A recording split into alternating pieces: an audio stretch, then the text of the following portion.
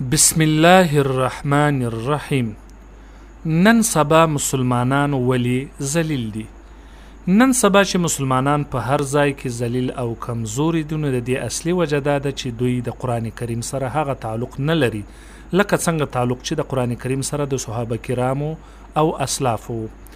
مسلمانان د قران کریم د زده کړې لپاره د قران کریم په احکام باندې او په قرآن کریم باندې د پوهې کوښښ نه کوي نو ځکه د قرآن کریم له انوراتو او برکاتو څخه محروم دي که مسلمانان د پخوا په شان عزت او کامیابی غواړي نو د دې لپاره یوازینۍ لاره د قرآن کریم سره د تعلق لاره ده چې قرآن کریم د ځان لپاره مقتدا او امام وګرځوي د قرآن کریم په احکامو باندې ځان پوه کړي او په هغه احکامو باندې عمل وکړي نو الله تعالی به یو ځل بیا مسلمانانو ته غلبه او قوت ورکړي رسول الله رسول الله صلی الله علیه وسلم وایي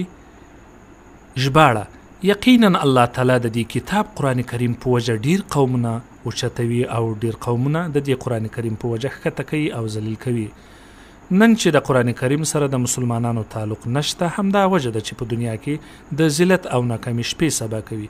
که د قرآن کریم سره تعلق پیدا شي نو یو ځل بیا به مسلمانان د نړۍ په مخ وځلیږي او د هر کافر په مخ کې به خنډ وي لیکن د افسوس ځای دا ده چې نن سبا مسلمانان د فحاشي فلمونو کتلو لپاره وخت لري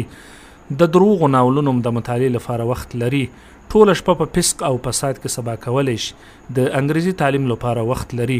د غیبت او نورو ناروا کړنو لپاره وخت لري، خو د قرآن کریم د تلاوت لپاره وخت نه لري. ایا موږ او تاسې تر اوسه دا سوچ کړی ده چې یوه ورځ به د قهار ذات حضور ته پیش کیږو، هغه به د قرآن کریم په باره کې پوښتنه راڅخه کوي، نو موږ او تاسې به اخر څه ځواب ورته وایو؟ الله جل جلاله دې موږ ته توفیق راکړي چې له قرآن سره مینه پیدا کړو